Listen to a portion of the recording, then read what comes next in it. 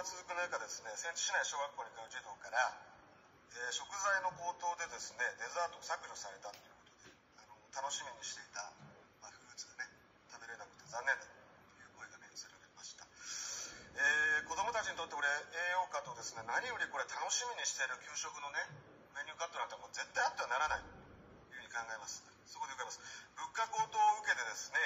このデザート削除など発生していますが市内全学校においてこうしたメニュー削除の学校何校あったのか。また学校物価高による給食メニューカットをなくすためにも学校給食即材研究に財政支援すべきではありません教育次長、え、今年度は献立表で示していたものからメニューを削減した学校等はございませんが、え、調査の結果昨年度は一律小学校3校でメニューを削減していたことを把握しておりますいずれも国が定める栄養面での基準は満たしておりますなお物価高騰による学校給食等への支援につきましては国の臨時交付金の活用事例にも示されているところであり現在検討を進めているところでございます樺沢洋平議員はい、えー、速やかなね、えー、対応をお願いしたいと思います。あのー、まあ、スライドももう一つご覧いただきたいと思います。これあの保護者のですね学用品負担これは本市小学校で平均2万1860人に対して中学校は4万9678円2.2倍負担があります。でこれやはり中学生の負担軽減がね必要だというふうに考えます。であのこの物価高が続く中今メニューカットの話もありましたけどもそもそもこの給食費の負担、えー、これ軽減が無償化が必要だという中で県議会ではあの熊谷知事があ学校給食無償化の準備を進めるという表現をしております。あの先ほどありましたけど物価対策のね交付金あります、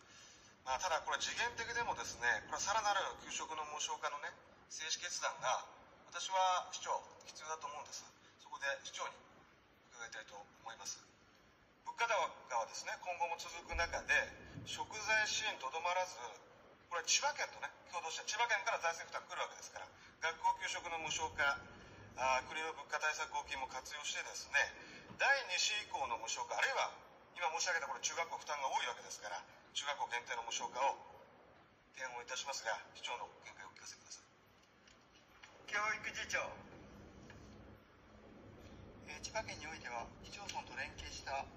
給食費無償化について今年度内に子どもの多い世代を対象とした支援を実施できるよう速やかに準備を進めることとしておりますが現時点で制度の詳細については示されていない状況であり第2子以降または中学校の無償化につきましては多額の経費を要することから引き続き県の動向を注視してまいります。樺沢洋平議員。はい。まあ確かに多額な経費はかかる事業でありますがあの例えば明石市なんかは中学校を全面的に無償化してましてでそれに伴って、えー、子育て世代の流入も増えて税収も増えて人口も増えてる、まあ、いう好循環も生まれてますから我々やはりこれ今物価高で苦しむ子育て世代給食費をですね少しでも、まあ、第3子以降踏み出したわけですからこれをしっかりとですね拡充していく方向にぜひ前向きなご検討をお願いをしたいと。